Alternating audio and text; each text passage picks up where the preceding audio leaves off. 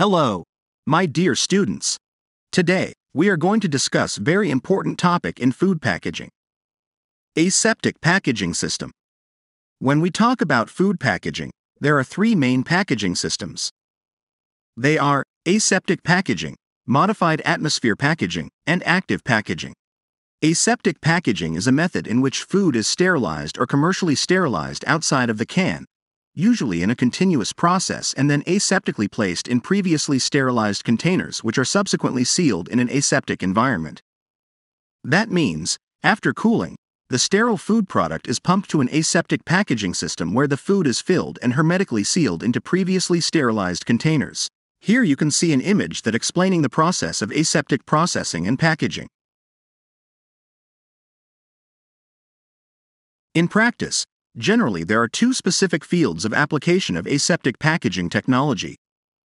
The first one is packaging of pre-sterilized and sterile products. For that, examples are milk and dairy products, puddings, desserts, fruit and vegetable juices, soups, sauces, and products with particulates.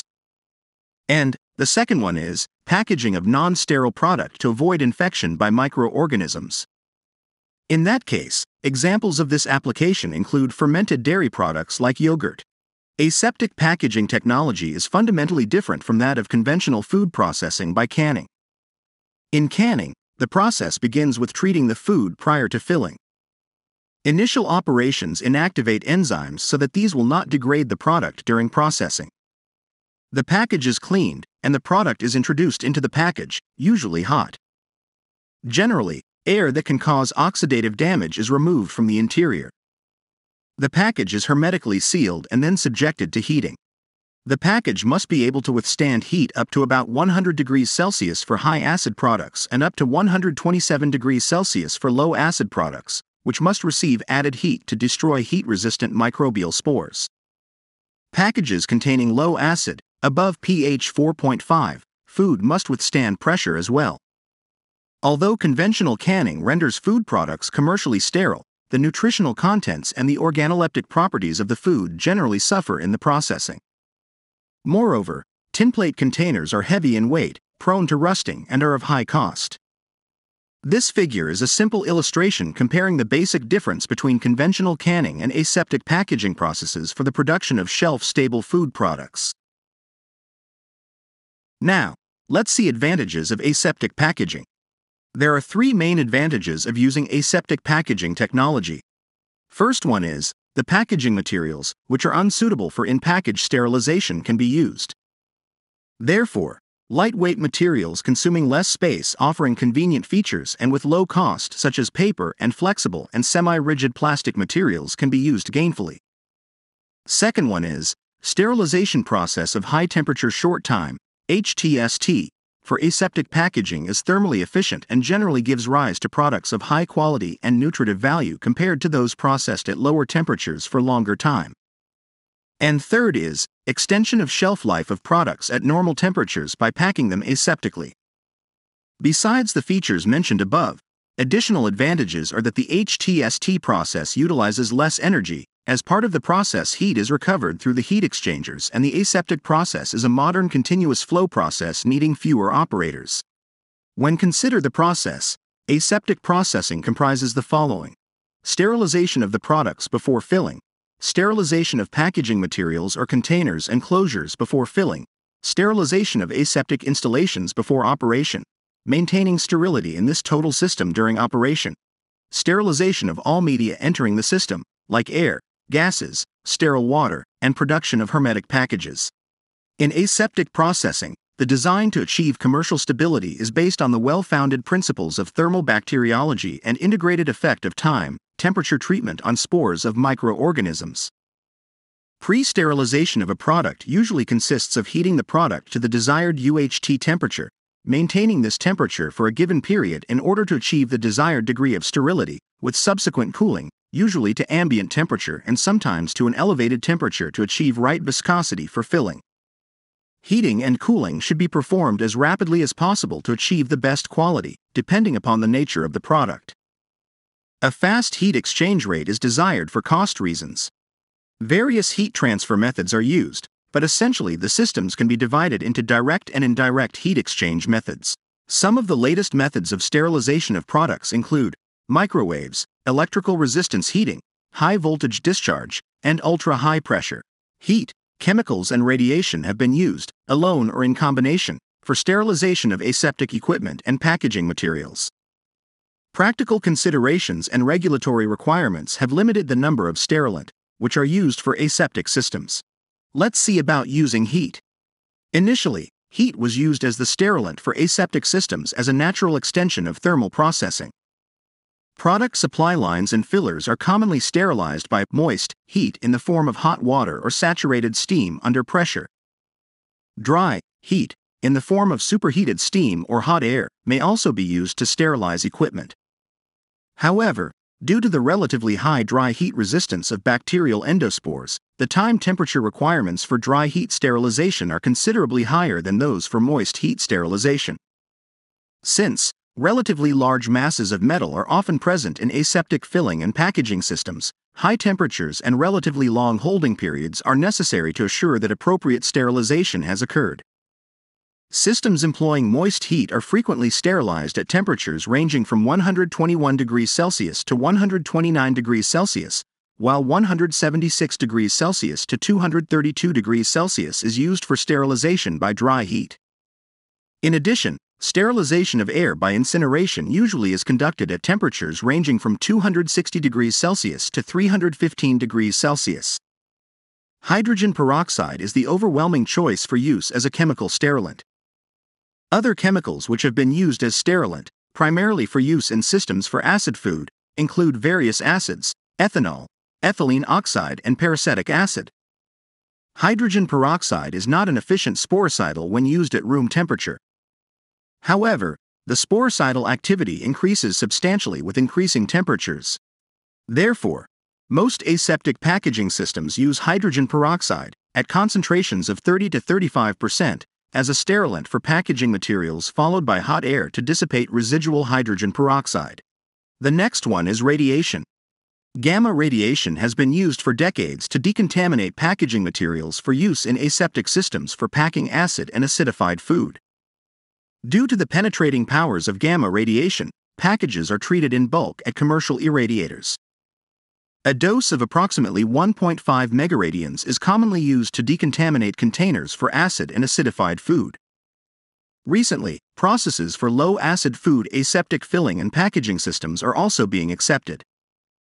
Doses required to sterilize containers for use with low acid food are considerably higher than those required for acid and acidified food.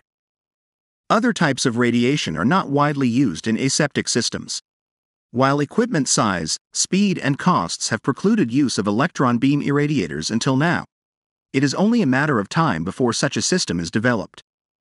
Ultraviolet, UVC, light has been used to decontaminate food contact surfaces. The low penetration and problems associated with shadowing limit the use of UVC for aseptic systems packaging of low acid food. Next step is filling. Once the product has been brought to the sterilization temperature, it flows into a holding tube. The tube provides the required residence time at the sterilization temperature. The process is designed to ensure that the fastest moving particle through the holding tube will receive a time, temperature process sufficient for sterilization. Since there is some loss of temperature as product passes through the holding tube, the product temperature must be sufficiently high on entering, so that even with some temperature drop, it will still at least be at the prescribed minimum temperature at the exit of the holding tube. No external heating of the holding tube should take place. A deaerator is used to remove air, as most products, which are aseptically processed, must be deaerated prior to packaging. The air is removed to prevent undesirable oxidative reactions, which occur as the product temperature is increased during the process. The deaerator generally consists of a vessel in which the product is exposed to a vacuum on a continuous flow. The sterilized product is accumulated in an aseptic surge tank prior to packaging. The valve system that connects the surge tank between the end of the cooling section and the packaging system allows the processor to carry out the processing and packaging functions more or less independently. The product is pumped into the surge tank and is removed by maintaining a positive pressure in the tank with sterile air or other sterile gas. The positive pressure must be monitored and controlled to protect the tank from contamination. Then, we are going to talk about seals and closures. Any aseptic system must be capable of closing and or sealing the package hermetically to maintain sterility during handling and distribution. The integrity of the closure and seal is therefore of paramount importance. The integrity of the heat seals used in most aseptic systems is principally influenced by the efficiency of the sealing system used and by contamination of the heat seal area by the product. To avoid recontamination, the production units, which are tight, are required. Two systems are manufactured in the Tetra Pak system the longitudinal and the transverse seal. Longitudinal sealing refers to the process of sealing the edges of the packaging material in the direction of the product flow, typically creating a continuous seam along the length of the package. During the process, the packaging material, usually in the form of a roll, is unwound and formed into a tube. And, the edges of the tube are brought together and sealed using heat, pressure, or ultrasonic welding. And, this forms a continuous tube that can be filled with the product. This seal ensures that the sides of the package are closed, maintaining the sterility of the contents during filling and after sealing. Transversal sealing refers to the process of sealing the ends of the packaging, typically perpendicular to the product flow. During the process, once the tube is filled with the product, the transversal sealing mechanism clamps down and seals the tube at regular intervals. This results in individual packages being formed and sealed from the tube. And, the seals are typically made using heat and pressure, ensuring that the contents are hermetically sealed. This seal ensures that each individual package is fully enclosed, maintaining sterility and preventing leakage or contamination. Here, in the image, you can see how these seals are formed.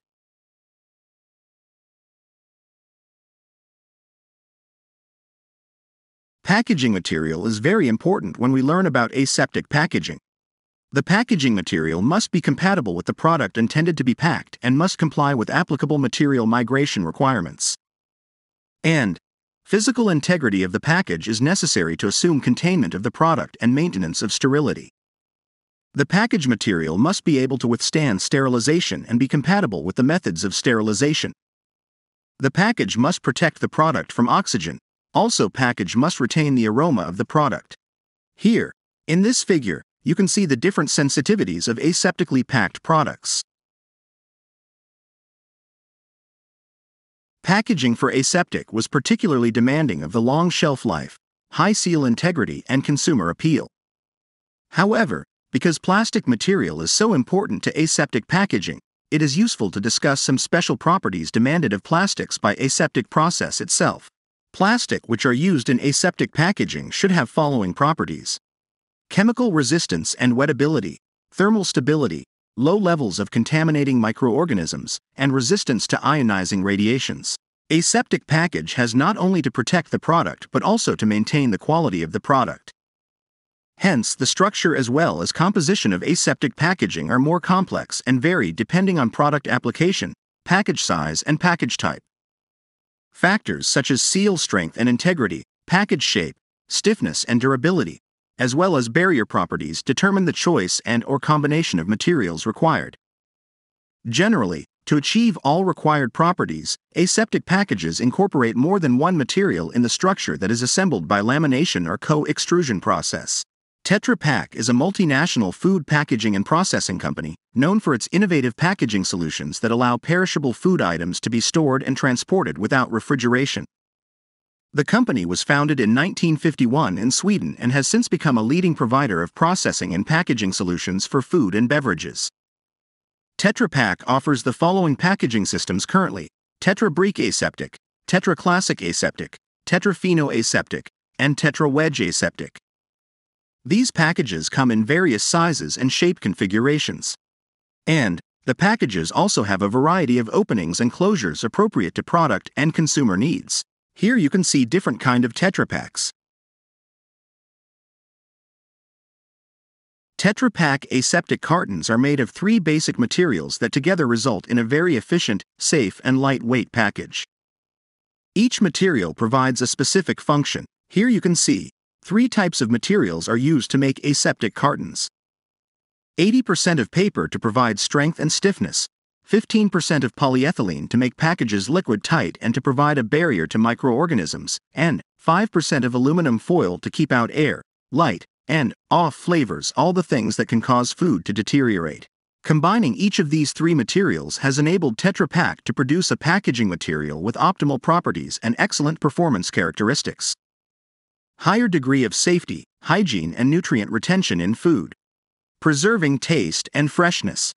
Can be kept for months with no need for refrigeration or preservatives. Efficient. A filled package weight is 97% product and only 3% packaging material, using a minimum quantity of materials necessary to achieve a given function. A good example of resource efficiency is its lightweight. Here in the picture, you can see which layers are responsible for the barrier of microorganisms, light, moisture, oxygen, and smell. In the case of bulk aseptic packaging, aseptic bag in box system caters to packaging of high as well as low acid products and products containing particles for filling range from 25 liters up to 1,140 liters. Typical packaging applications are fruit juices, concentrates, purees, tomato products, milk and cream, coconut products, and jam. Now, let's see working principle of bulk aseptic packaging.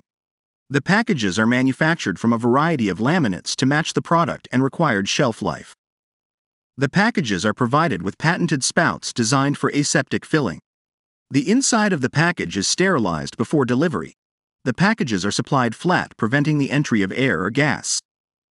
They are available in volumes from catering size up to sizes intended for shipping of product from manufacturer, grower to processor, packer, distributor. All packages are intended to be supported, when filled, by an outer container, for instance, a drum or heavy duty box. Advantages of bulk aseptic packaging are safety, reliability, extended shelf life, and product quality. Bulk aseptic packaging is safe due to followings. Steam sterilization of spout and sterilization effect can be controlled and recorded. No chemical sprays used to sterilize the chamber. Spout is tamper-proof. Safer sterilization and easier to monitor. No risk of adding chemicals to the product. And no risk of laminate material relating with chemicals. It is reliable because the filling machine is uncomplicated as there is no sterile chamber. Filling is controlled by weight. This ensures accuracy as no adjustments for specific gravity need to be made. And, customer will have one partner with worldwide service organizations and long experience in processing and packaging technology. They can extend the shelf life due to followings. High oxygen barrier of the laminate. Laminate is less susceptible to flex cracking. Secure spout with limited possibility of oxygen permeation. Spout is made of HDPE, which has three times less oxygen transmission rate compared to LDPE. And there is no head space in the bag. Product quality is high because chemical browning is minimized due to high oxygen barrier properties of pouch material. A bulk aseptic bag is a multi-layer structure consisting of an outer barrier laminate and an inner bag in contact with the product. All bags are pre-sterilized using gamma irradiation and supplied flat. The level of gamma irradiation is specifically selected to facilitate packaging of high as well as low acid products. The bag has three distinctive features as below. Highly secure spout, outer bag barrier, and inner bag barrier. Depending upon the choice of barrier material employed, the bags are classified as super barrier and medium barrier. Metallized polyester is the conventional barrier for aseptic bags and is used in medium barrier bags. Aluminum foil as barrier material is used if the products are extremely sensitive to oxidation and loss of aroma and is used in super barrier bags. The bags are available in sizes of 25 liters, 200 liters, and 1,140 liters. The 1,140 liters bag is also available with separate emptying spout. So, this is all about aseptic food packaging system that you should know as a food science student. If you need any clarification, please leave a comment. If you like this video, please give a thumbs up and subscribe for more video like this. Thanks for watching.